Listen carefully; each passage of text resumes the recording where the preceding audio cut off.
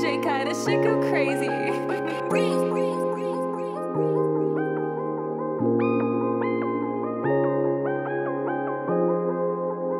Thank you.